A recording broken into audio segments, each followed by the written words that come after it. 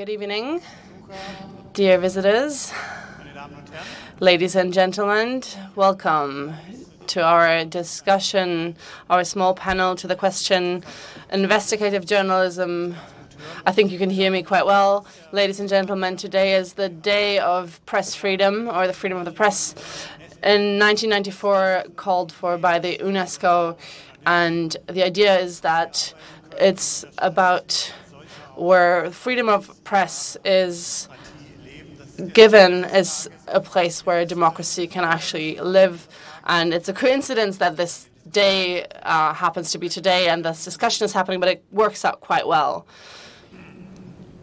It's quite fitting. Today we don't want to talk about fake news for a change. That is being discussed quite often. It's been done in the years back, and unfortunately, you can say but we want to talk about the other side, the good journalism, about journalism that is uh, trying to find facts, uh, wants to reveal facts and explain them so that the audience will be able to understand them and be able to uh, shape their own opinion about these facts. And I think that's how we can uh, get as close as possible to what UNESCO was asking for.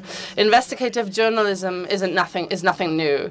Uh, 1970s, remember we, we remember Watergate scandal. That was a big chunk of investigative journalism, which caused a U.S. president to step down. Uh, investigative isn't new, but in the last two, three, four years, there's new technologies and new techniques for investigative research. We have research networks that not only are organized nationally but internationally, and they work internationally. We have a lot of uh, newsrooms, specific task forces who are responsible for the research for the investigative part of it, where that is part of uh, their mission. We have data journalism, journalism that takes big data and tries to find uh, topics and tries to offer solutions. And those are all things that are not really new, but sort of new at the same time. And that's what we want to talk about tonight. We have here a group of colleagues uh, that know this field quite well. And to give you an idea about what this is about, I want to quickly show a spot, a short clip on the Paradise Papers.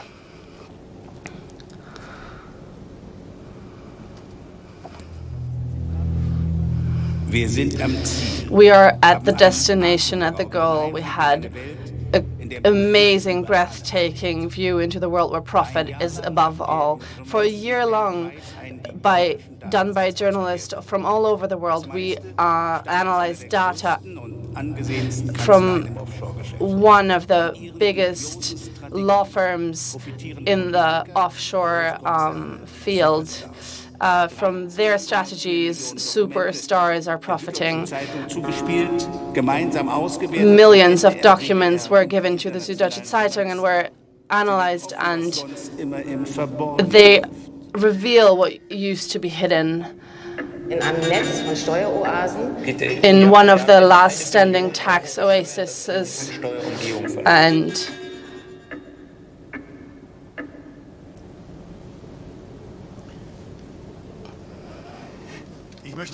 I would like to introduce the panel, and I have a question, the same question for everyone when we talk about these new instruments uh, that we have here, research networks and research newsrooms.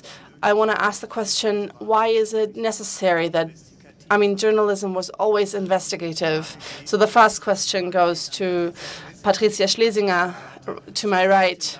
She is the head of uh, the uh, public broadcasting of Berlin Brandenburg. You used to work for Panorama. Uh, also with the RBB, you have an investigative uh, feature, and these TV features have always been investigative. What are the new uh, methods? What can they add? Uh, the new the new methods. you've named them. Um, data journalism, journalism, journalistic networks, smaller, bigger um, organizations that are responsible and working in this field, but the journalistic research, but also the investigative research. And that's why I want to be holding a little bit back. But that starts in the local news. It starts with corruption of the mayor.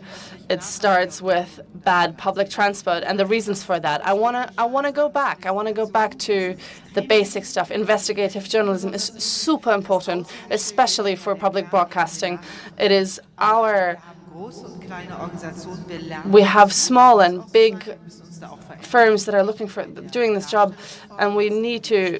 You have the political magazines that you've named them, but there's the research that's done, and there's why there's research networks of inter, on international scale, and Panama Papers is one of the best examples, and it wouldn't have been done made possible without a big organization in the background. But it starts in the small, and at the core, it is about revealing what is going on and, and point out mis misbehavings. And the example, Georg Mascolo, is part of what came out of your troop. You're the head of the research troop for the WDR, uh, Süddeutsche Zeitung. Um, so the research things that you discover are being published through the really big channels, like two public, big public broadcasting channels and one daily newspaper. How did this uh, bound of connected people come about and why was that necessary? Um, there was always a good and uh, well co-working existing between these um, networks and newspapers, and that's where the idea was born. Couldn't we make this a bit more steady? Or, like, couldn't we can't we build up on these good experiences that we've worked up? And can't we do a little bit more? And so we tried it out. And up until today, I think it's a very simple maxim that's guiding this should they work together? Shouldn't they work together? For me, the essential thing is is what comes out in the end good journalism or not, and that's what makes the difference. So on the day where I realized that's not true, I would stop doing what we're doing. And the example that we've seen here, the of the Paradise Papers, is of course something unusual that we've done with the Panama Papers. There was uh, the German side of the research conglomerate, and there was the BBC, Le Monde, the New York Times that were part of this. And what's the reason for that? Well, when you have 13.4 million documents that you're trying to understand and want to tell a story or fragment of this, if you want to talk about the global phenomenon of tax uh, hidings, you have to have a global journalism that uncovers this. And that's not just something that we have to look at in Germany, but it's you have to something that you have to look on the global scale. So if tax evasion happens on a global scale, and you have to see the political dimensions of this and the hope that you can have to uh, show this misconduct. And um, if that, if you by making that visible, you're kind of diminishing that and making that smaller. And that's the goal that we had, and let's hope that that's possible. Olaf Sundermeyer, to also to my side, a colleague from the RBB. It starts in the local, is what Patricia Schlesinger just said, and you are part of the new publishing team, editor team of investigation and background. Why was this one founded? Was there not enough investigative journalism? Well, you honestly have to say that this kind of uh, board exists a lot longer than the cool name that it was given in last year. The deciding factor is that we're not working on current news. We're not the evening news. We're not Radio 1. We're coming from the subject itself. We always have time. We work with colleagues in teams that have a little bit of an expertise to different topics, extremism, Islamism, um, the housing market in Berlin, and they're concentrated within us. And we're, we're building these subjects up and, and we publish them on day X when the subject is is finished and ready to be published and that goes to all sorts of different channels and that can be the news or the lunch magazine like it's we have the time to do this and we are not a classic newsroom. We don't have the pressure of production of having to publish on uh, at 8 p.m. every night. So that's something that we've built up over the last few years at RBB, and that's brilliant to see. Another newsroom that was built was BR Data, which is the Bavarian uh, broadcasting. Ulrike Köppen, you are the head of this newsroom. Also, question to you: Why was this necessary? Oh, well, principally, it wasn't something that was built from the top down. We were allowed to grow. We were allowed to grow on our own and were then supported and got support from the back that it was it was realized that it was necessary that we get people on board who understand larger amounts of data, who have ideas and knowledge about design. So we took people on that have a very different kind of education. So it was more a necessity or a feeling that it was necessary to have this interdisciplinary exchange, and that's how that team was built up. And all the way to the left is Oliver Schröm. He's sticking out a little because he's not part of a newsroom or a board, or he's he's the head of correctiv.org and that is a collection of journalists that write stories and research them, financed based on donation, that are then public, being published and being published to be used for other things. We're trying to be the answer to the question um, who can still afford investigative journalism. Um, and we have two big pillars of investigative journalism, or we used to. We had uh, the public broadcasting system that was financed by um, the public paying into that, and then there was major magazines that would be financed by uh, the sales and advertising, and that kind of market is is is crippling and it's going away. So the the the resource for investigation is is is being cut back.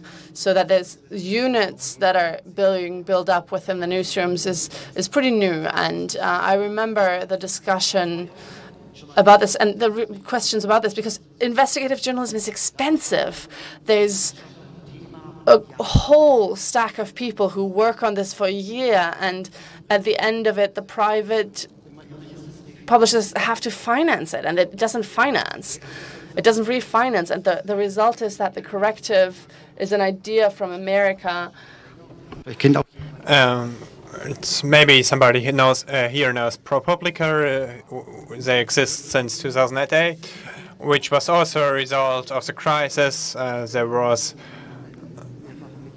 uh, uh, some billionaire uh, who made his money on the Wall Street, and the news um, newspaper started to dying, and the Paul Steiger, the guy. Um, said that he will give 10 million euro per year to the organization so we can make investigative journalists. And you don't have to sell it you can just simply publish it. And that's what happened. And in 2012 when the crisis started in germany we wanted to try this to do some um, some journalism which is financed by donations and we, we also looked at ProPublica because they're our, our, our heroes and tried to copy their model to Germany, but it's not that easy uh, because first we have another kind of donation system. There aren't that many um, very rich guys here, and we have the other problem that you can't be that journalism is not non-profit? No, a non-profit organization in Germany in general, and we um, had to learn it. So we do a lot of education because we um, it's is necessary um, to do a lot of education to be a non-profit organization. Uh, organization. So we do, do a lot of education. So we have books. We uh, teach lessons, and this takes a lot of um, a lot of force and a lot of money, but we have to do it to have non-profit status. And we have, um, at the moment, just political will that um, journalism is not um, non-profit. So, Georg Mascolo, how is the financial situation of journalism. Uh, of course, we understand that investigative journalism can take a, ve a, very long time, and we don't know whether at the end there will be a good story. So, how does finance uh, financiation work for you? I I think that you looked uh, around the Caribbean at different law firms and uh, to see how the status is. So, what do you do? I only agree with parts of the things I hear. I've been in the on the same job for 30 years and always hear that there's not enough money. And I think that a lot of newspapers are financially well off in Germany, and I don't think that um, public broadcast system is dramatically unfinanced. And a lot of the things we actually do um, is uh, what we call investigation is just classical, normal news journalism. Um, of course, we do things like oh, um, Panama Papers or to uh, continue the um, work by the murdered um, Maltese journalist. Um, but a lot of news stories we typically work with are just normal uh, classical um, news journalism, something which is in the in the US has another meaning to find out for the audience, which was unknown before, uh, to find new facts, uh, which enable the the audience, the readers, to form their own opinion. And in Anglo-Saxon um, countries, there this has not a tradition.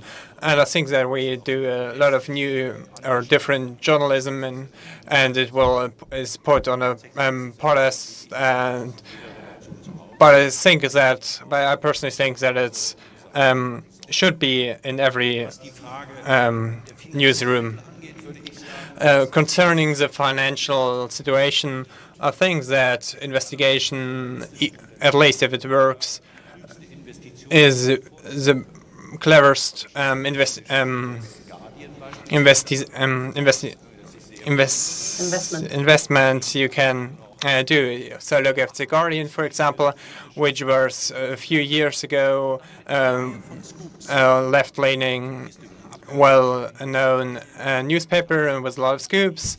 Uh, first about uh, the U.S. government, and WikiLeaks, and then Panama Papers. Uh, it became a, a worldwide known uh, brand. If you ask the uh, editor-in-chief of Guardian how much did it cost, what did you have to invest to get the uh, the kind of uh, brand you have now, it's probably the best investment you could have made.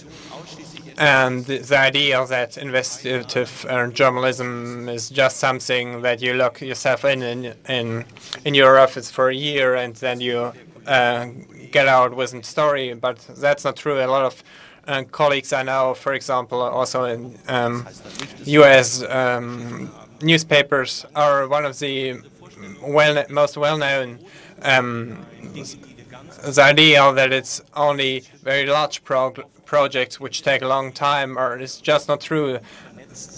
Um, well, uh, colleagues with uh, well networks which have a lot of access are the ones who also appear in newspapers um, the most often. Olaf, I heard, I understood this different from you last year. Would you disagree that you need, yes, that you need a separate um, office without being under the pressure to uh, immediately have results. And um, we don't have at the RBB enough time to find um, new facts. We don't have to be in the daily news cycle. Um, there is, of course, journalism which isn't immediately investigative, which can appear every every other week and appear in the uh, evening news and then, for example, um, use new facts and explain them. And we often do or use our expertise um, to explain, for example, the 1st of May um, in other news networks, um, independent of features which appear, for example, in Contrastor News Network. And so sitting in a locked office to just wait a year uh, won't be allowed by your, um, Frau Schlesinger. So is it a good inv investment to have such a to have such a part of the office? Yeah, I, I think it's we have um, invested more money and time into this. Uh, Georg Mascolo uh, said that it is one of the best investments you can do because um, well, it's good craftsmanship, and you can show what it moves. It's like sometimes it's little stories, sometimes it's only uh, a question of expertise and knowledge and sometimes something specific happens and there's a new sta radio station that wants to have a context. But a lot of times there's really good stories that come out like the microsoft dilemma. Like that is a good smart story. That was a tough story for that you need time and that is if you have the public broadcasters when they're not doing it the others can do it and they have to do it and they do it really well and they're they're investing and i think it's something that we have to put the money in we have the money from the public we have the money from our audience, and that's where public journalism has to take place. And for me, the best journalism is investigative journalism, to say it, put it generally. Georg Mascolo, I want to get to a point that might be a little bit more difficult or critical. In the international co-working, like with the Panama Papers, you work together with the consortium of uh, investigative journalism. It's about 200 colleagues. You uh, named the newspapers that are working all over the, the globe, and this uh, is financed based on donation. And now it happened that in the Paradise Papers, while researching the uh, tax evasions and researching the tax havens, you found two of your donors who donated for that uh, consortium that were all of a sudden part of that list, George Soros and the founder of eBay. Um, how do you handle these kind of facts? Uh, isn't there a conflict of interest that suddenly uh, manifests itself? That you can read how read up on how we dealt with that, and I think uh, we handled it really well. Uh, we uh, obviously handled them exactly the way that we handled everybody else who was part of these papers and this scandal. I would have had a problem if we had uh, kind of found these people and stumbled across them and said, mm, oh, that's kind of awkward. We can't really report on them. Or let's build the, I'll give the theoretical example. of there's a leader of uh, uh, part of the any of the broadcasters or of the newspapers that were part of the story, and oh, we're going to like not report on that. I think that's when you when you uh, devalue all your journalistic means and value. So in the Anglo-Saxon tradition, this discussion is nothing that comes about. Like this is you can see that up until today, the Washington Post has about Amazon and this is not going to change their reporting even though they're owned by them.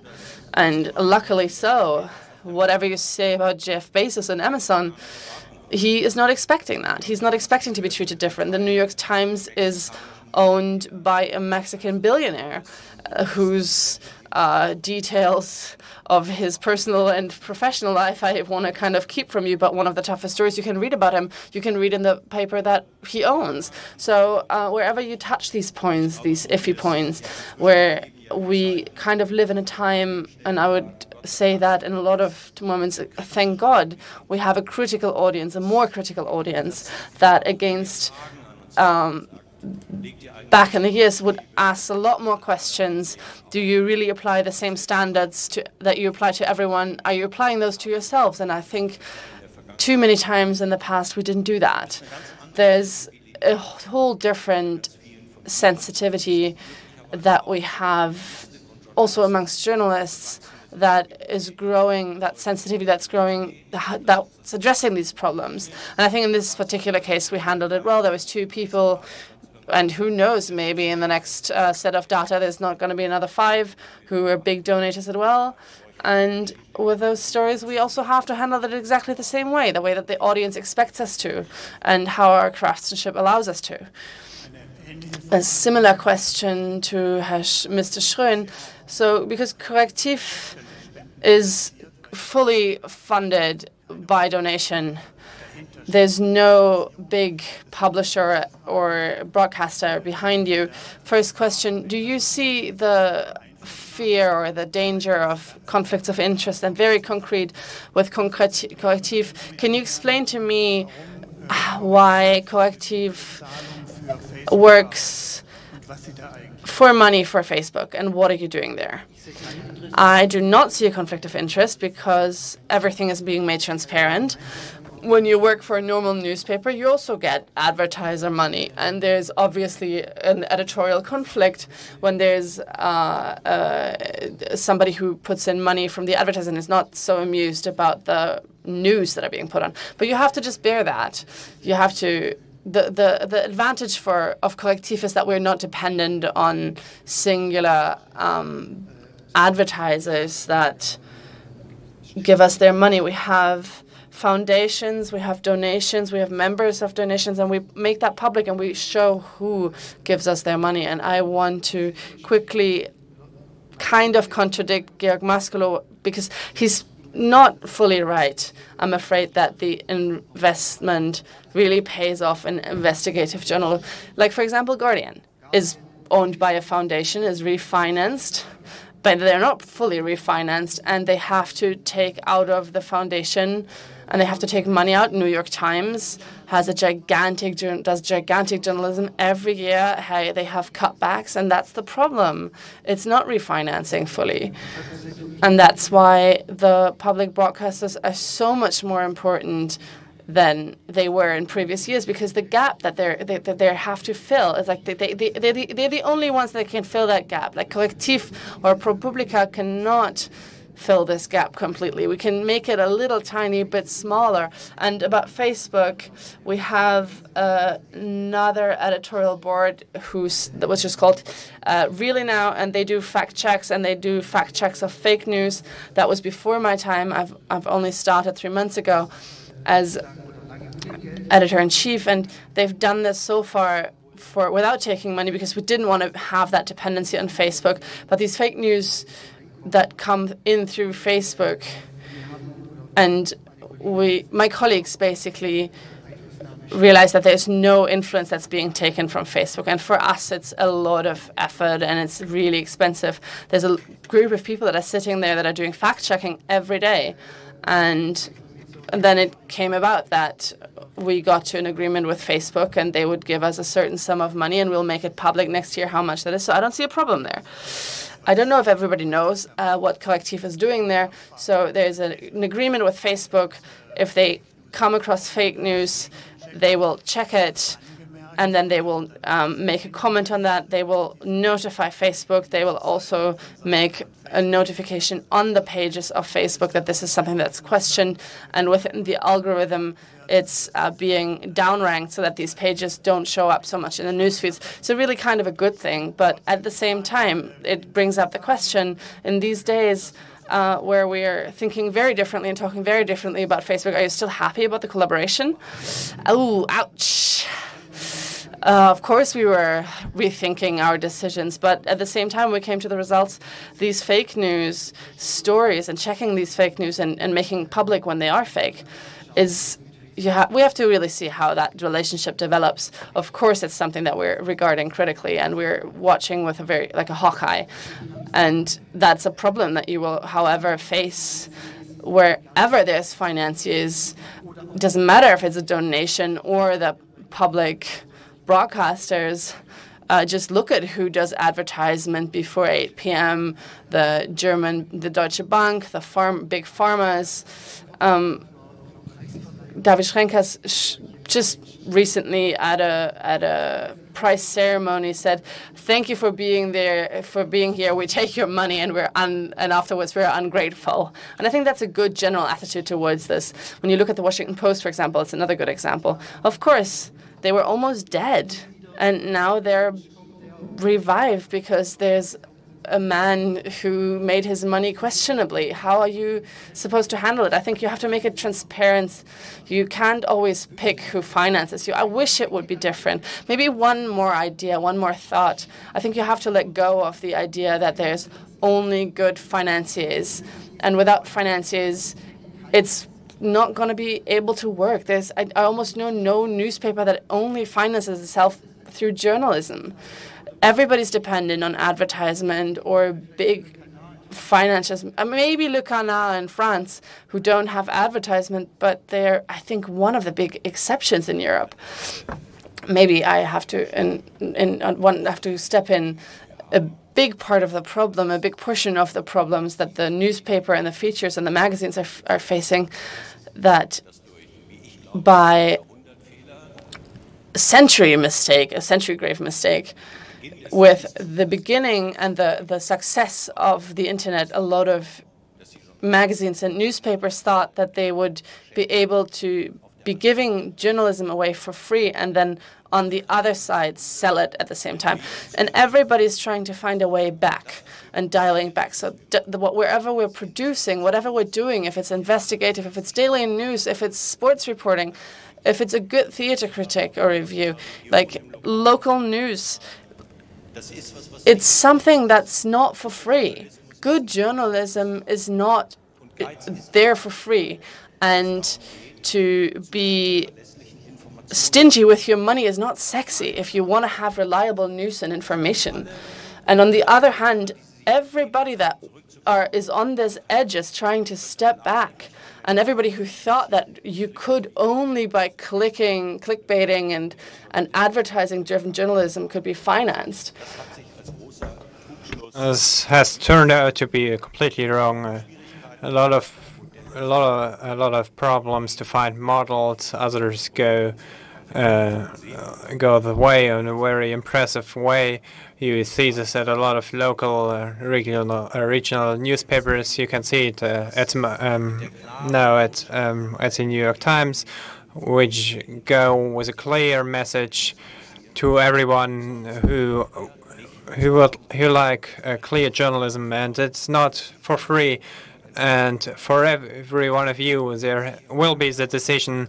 You can always be uh, angry about the public broadcasts, about the daily newspaper, about the local newspapers, but it's important to inverse it to think about what you would be miss out on if they're not there anymore. And I always think that while we make a lot of problems, you would miss a lot. And we have to go back to understanding that good journalism is worth its money and has to be paid. Uh, what good journalism is in a, regional uh, verse, I will show you in a uh, quick film. The title is uh, Large.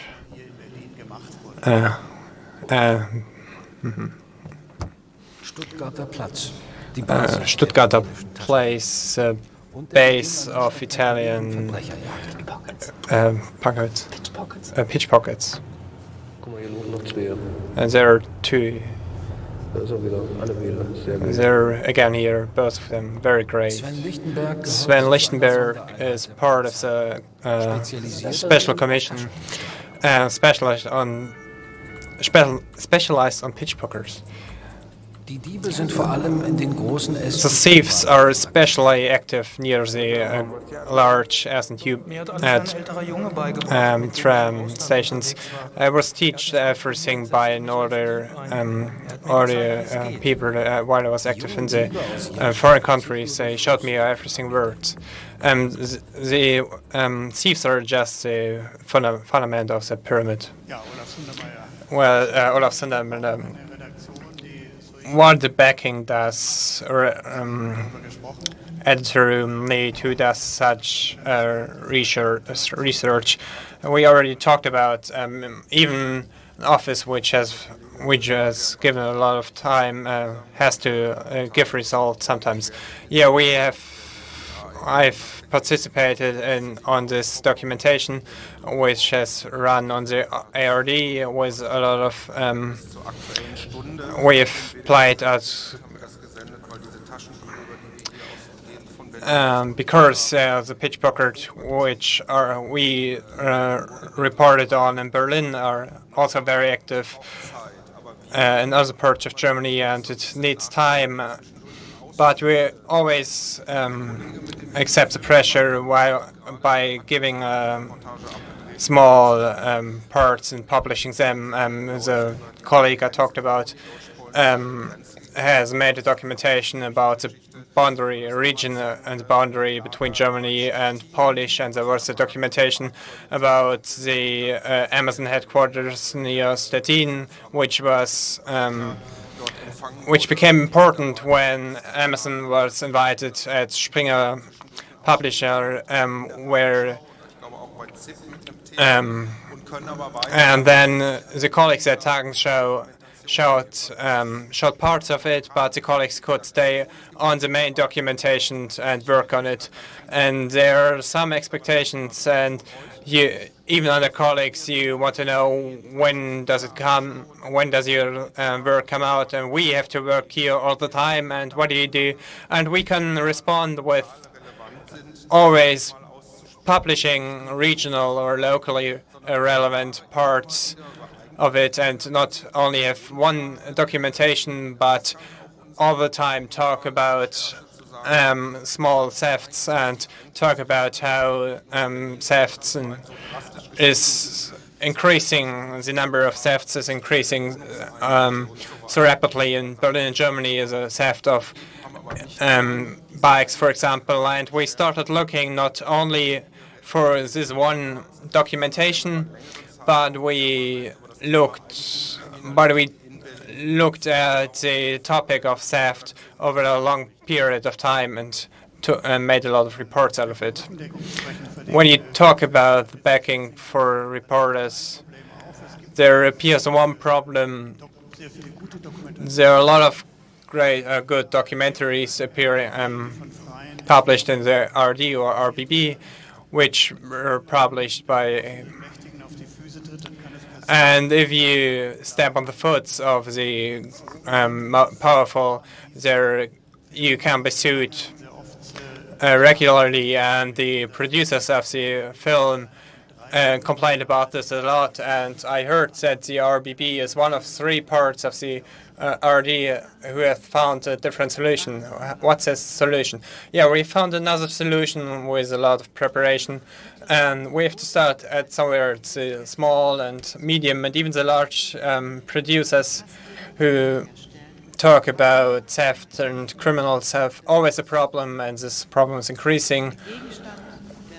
The object of the research is is acting against it uh, um, legally. And this can be a problem for uh, medium and small uh, enterprisers. For example, if they filed against a Deutsche Bank, because even the threat of the suing, even without knowing whether it will be uh, successful, um, can completely bring down such an um, enterprise. And additionally, um, and that's the reason why we work together with the NDR and the MDR to how we can support the producers. And we talked about with an organization of producers uh, who had the ideas, and there were a lot of legal reasonings I don't want to talk about. And at the end, there is uh, um, there is something which means that if a producer uh, worked journal journalistically very fine, he can talk about it with us that and say that I'm going into um, attacking um, a large enterprise or a bank who are known for having a lot of lawyers who who will fight back and bring us down if it goes wrong. And now we can say that we we accept the risk and we take the risk now, and you don't have the risk anymore. And that's exceptional. This doesn't happen all the time. And the, the producer has to work uh, that's a very important part of this. And we've done this now one time, and there were a lot of problems, as you can imagine. And I've just mentioned the Microsoft dilemma, which is the first um, documentary we worked where we worked with this system. And it turns out this is important because we need these producers and we need these for the first idea. And if they say, well, I can't afford it if it goes wrong, or even if it doesn't go wrong, but they can't defend themselves, it's important that we are there, that we are uh, at your side, and we support you if there are if you are getting sued. And so the um, media's um, no tax responsibility. Ulrike I want to ask you if you think that you have enough moral backing um, in your uh, office, and we have a small um, movie to uh, support the understanding what you do um, at the BR. Uh, I think the name is um, renting of uh, bikes. Is this your phone number? Ja. Yeah. Das ist dein Profilbild. Is this your picture of your profile? Yes. Diese Daten sind jetzt These data are now uh, accessible for me uh, on the internet. Um, data of customers open in the net. Uh, it's about a bike sharing. We've um, asked some people to test the um, bike sharing company O-Bike. Um, just um, log in with your app, but what they didn't know is that their uh, data were uh, published un unsecured in the net. With only a few clicks, uh, journalists have been able to find data of a lot of people worldwide and even make um, movement pro profiles. Uh, is this where he just went along? Um, Ms. Köppen, I found this on your homepage, this, this sentence that I find quite beautiful, where you write, Our research is data and document driven. Maybe before I ask my question, after the backing that you have within your newsroom, can you explain to us what is it exactly that you're doing, how you work, how you find the golden data, and how you get that gold? Are there other examples? Well, there's a lot of examples of data journalism. That there's a lot of different shapes of data journalism. In this case, there, it was about a data leak that my colleague Robert Schöffel found on with O-Bike. And in this case, it wasn't really about big data and analyzing big data. It was about understanding that you can see personal information, personal phone numbers, movement of patterns, uh, pattern movements of people all over the world. In there's so many of these bike sharing and these things. These you get to endpoints of intersections, and you can get clients' data publicly available there, not encrypted and you can understand who drove where and and for that you need people that understand the matter in front of their face you need to and then when you get to people where you have to have people who are capable of doing this. We're part of a group of journalists, programmers, people who have completely different backgrounds. We try to be as diverse as possible so that we can have different backgrounds and views onto one subject. And we try to uh, advance in the digital research. So we have the capabilities to gather big data and collect big data. That was not the case. We never were given a leak like the Panama Papers. With us, it's a lot more that we have to think about how can we access this data? How can we get this data?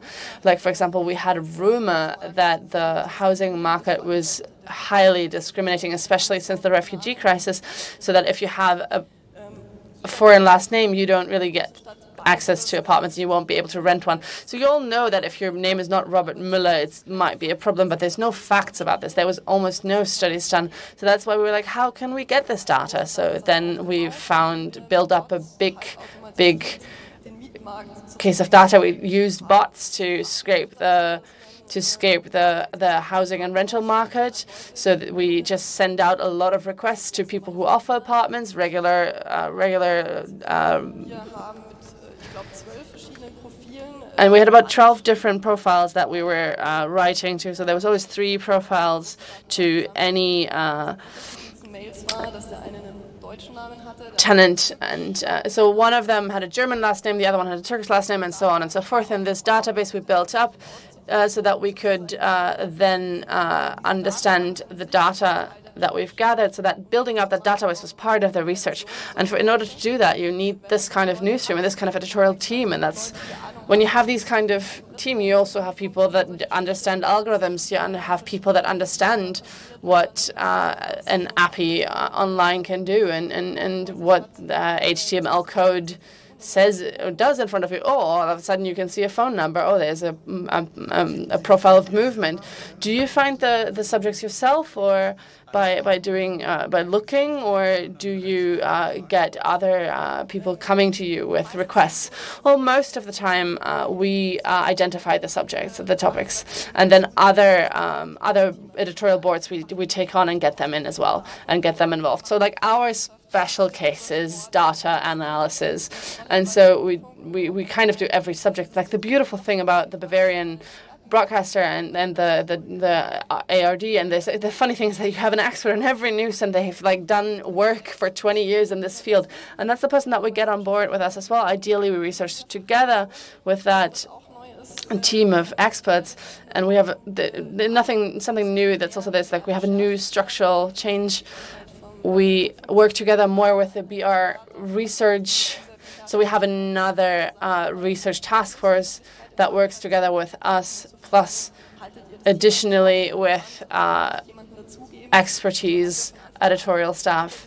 So then we have a very interdisciplinary research team, and ideally, and that will lead ultimately to people being completely in the subject itself. And so we work together with TV and, and radio broadcasters just so that we can then have it published in a broad sense.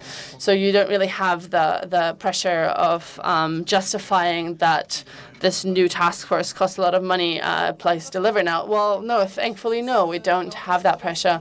I think it's it's quite recognizable that we work long on these subjects and we uh, work together with it on with a lot of people. But there's a programmer, there's a data analyst, there's a designer, there's a journalist, but you realize that the output after that research is really big. So we obviously try to like uh, publish this quite broad, radio, TV, web. Um, so that's what makes it worth it, and that's why we don't have to deliver constantly. But when we do deliver, let's make it as loud as possible. So uh, one of the researches that you did, I really liked a lot. You could prove that Wikipedia, the description about uh, politicians of the German parliament were changed by one third uh, by accounts that come from the parliament. So to have more friendly descriptions uh, and add them in there as they were there in the beginning. And that happens anonymously, but at the same time, based on IP addresses, you can prove where the source was coming from and that it comes directly from the offices of these politicians. That was quite neat uh, research. Um, I would like to ask you all when we talk about this uprising of investigative journalism, I have the impression that it is also a reaction towards what's usually published on the internet and in social media in the recent years. That's fake news, um, that's campaigns that have nothing to do with journalism at all anymore. Is this impression true? And is there a chance to, with this kind of journalism that we like, that we think is good journalism, that we want to support, do we have a chance against fake news? Are we going to be able to uh, stand strong? a lot of questions at the same time. I believe that uh, the need for information of all people is increasing rather than decreasing, and that on a global scale. That's one thing. And at the same time, uh, getting information seems to not really be a problem anymore. The problem that we have today is to contextualize this knowledge, uh, to know that it is the way that it's stated there, to uh, trust, to uh, know the, the, the truthworthiness and contextualize it. Who does that for me? Who interprets this meaning and why something's happened and what it does with me and my country and my family and how it applies to that. And that's why I think in your question, to answer it en gros, like in the big picture, yeah, I do believe it's more important to have a clear, big journalism that is important for news, that's important for investigative journalism, and we can feel that the desire is increasing, and the need for dependable information out there is increasing, and the I mean, the global what's going on on the globe is like you, you, you have this feeling of you want to know why things are the way they are. Yeah, I think more than ever before, it's important, and that's why it's the core of our business that, to do investigative journalism and give information. And then we have a few more minutes, so I'll ask, open the, to the floor if there's people who have maybe one, two questions. Where is the, my nice colleague who, oh, where's the nice colleague with the microphone? She wanted to be here, but now she's not here anymore. Are you coming back?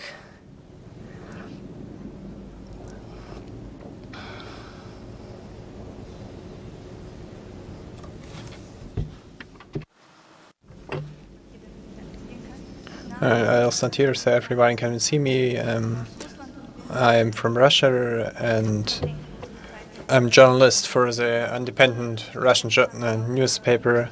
And one of our correspondents worked for the um, together on the Panama Papers. And in Russia, there was only one newspaper who worked on it. And my questions for you, um, Mr. Mascolo, I know that's impossible to uh, for one um, office to do all the research. Um, and in Germany, there have have been uh, more than one um, media companies, and I want to know whether there is no competition, and how do you decide who publishes what, and how do you handle the competition, and if there is no competition, then why? Uh, yeah, thank you for your question. Um, we are very happy that you have been part of it. Um, that since you know the um, state in Russia much better than I do, uh, you know that is uh, very sad that it's hard to find partners in Russia and in China you don't find anyone at all. And I want to say that if we talk about how investigative journalism changed, I think about that I was a reporter in, G in the GDR, and the and the GDR always invested a lot of um, interest and time into um, making sure that the citizens didn't um, listen to public radio from the Western or read Western West um, newspapers. So for dictatorships, it's very important to control what the citizens um, can read or listen to. And what changed in investigative journalism is that nowadays you can talk, um, report a lot about the corruption next to uh, President Putin, and he can't influence it or prevent it, even though, even though he has a lot of influence in his own country. So how do we handle the competition that's probably the most asked questions when we started, and we are now in the fifth year, and always when we begin, if you begin with something new, there are two ways to do this. Uh, and first, it's to to build a lot of different groups to who discuss what can ha could happen in the future, and then we, you talk about it two years and everything breaks up. And we did it the another way around. We just start and we know that there will be a lot of problems along the way, but we believe that we can only continue if there are fast and good uh, journalistic um, results. And if there are these results, we'll find uh, along the way using the, something like good faith clause um, to handle all the problems we encounter. And I think we handled it really well. And um, you, have heard that, uh, as said, goes um, complaints from the radio that the newspaper comes on the iPad at 7, but um, the most listened to um, parts of the radio later, so we made a lot of compromises and sent out the newspaper later. And it turns out that it worked really well so far. And I will tell you that it only works with journalists who are interested in the results, uh, um, who are interested in a good product, who do it because of a love and passion for their um, for their job, and who are who um, who agree that that they ignore all the um, small problems and um, not make these irrelevant problems. If you and if you reach this point where you say that you are only interested in the results of the research, um, it turns out that at the moment it's very easy to handle these conflicts. So we have one last question over here, and then our time is up.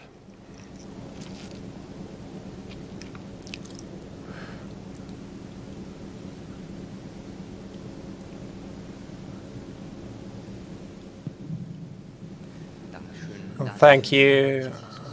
Um, I'm from Hungary and I want to talk about something which wasn't present that far. We talked about the global and about the local um, stories. I would like to come back to the European level. Yesterday, the um, president of the Commission, Juncker, and introduced or presented the new uh, finance rules and the parliament and a lot of it's a lot of money and a lot of it comes from Germany and oligarchs in uh, oligarchs steal more uh, money from people than pickpocketers in the, on the Stuttgart pla uh, place could ever do.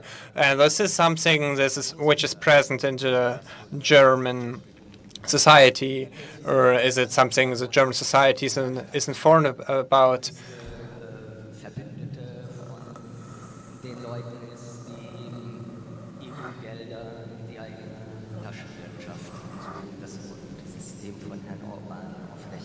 Or that there is high-level corruption which holds up the um, authoritarian or the regime of Orban, and how do you reach the German uh, audience? Good question. Does somebody want to say something about it? Otherwise, I will just uh, take it as an as a um, call to to also look at uh, our next neighbors in East Europe, Eastern Europe, which will also be, uh, um, which will also start investigative researches uh, with the colleagues there. Um, if you allow me, we also speak about this, this, and we also have this discussion today on the Day of Press Freedom. Um, in Europe, we have had at least two, and in my home country, Italy, and there have been a lot of dead journalists in the last decades, and even more who can only work with police protections, uh, for example, Roberto Saviano. And what we try, and what is I think is new, is that yeah, in the case of the Maltese journalist and the Romanian and colleague, we have projects. All these all these who think they can prevent uh, research by killing journalists uh, will uh, will feel the exact opposite. They will feel that journalistic corporations, which are, by the way, uh, like in the uh, like in the Maltese case, without any competition. For example, we did it in our corporation and also at the site, and we didn't even discuss five minutes about it, whether we want this, um, whether we want to exclude them because of co the competition. But we say whoever tries uh, to to prevent um, some reports by killing the journalists, they will um, feel that journalists from all over the world go to these places and then try to do what this one person couldn't um, uh, um, finish um, finish their projects. This is a um, central idea of the Malta project, and I think it's a very important uh, signal to send that um, assassination command um, teams are not able to end uh, research about corruption, and I think uh, it's important to send a clear stop signal here. Thank you. Yeah, our time is up, and it's the end of our discussion. It's the um, Global Day of Press Freedom, as Global, um, Mascolo mentioned. I thank you for your participation at this panel. I thank you for the audience for their attention. And I was asked to say that the RPP lab is also present tomorrow, and at every full hour there is there are interesting discussions, and you can watch it in the live stream on RBB 24. Thank you and goodbye.